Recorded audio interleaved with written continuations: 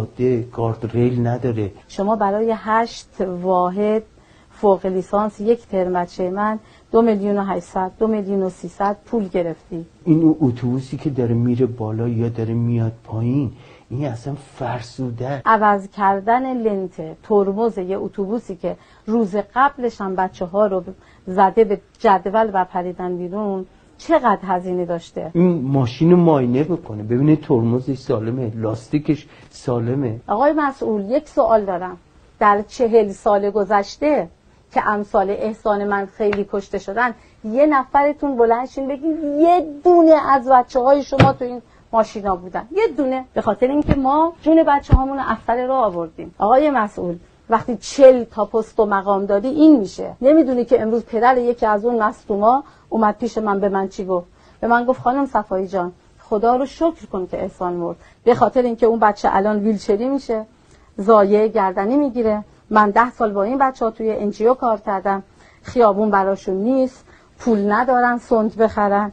هیچ جا براشون مناسب سازی نیست تاکسی نیست اتوبوس نیست. تسلیت عرض می‌کنم. می‌دونم که داغ جوون. من داغشو نمی‌تونم چاق کنم. برای پسرم خیلی زحمت کشیدم.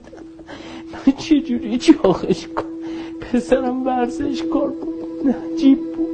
اینا کتاب خونشه بله اینم کتاب خونشه این تنتناشه فقط به خاطر سهلنگاری دو تا آدم نالایق بی سواد.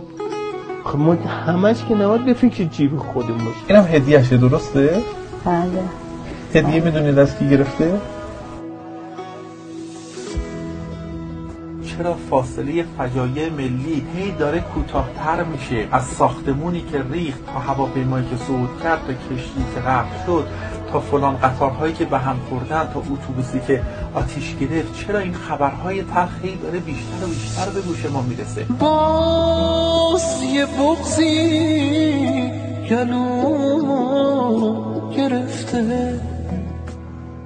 باز همون حس درد جدایی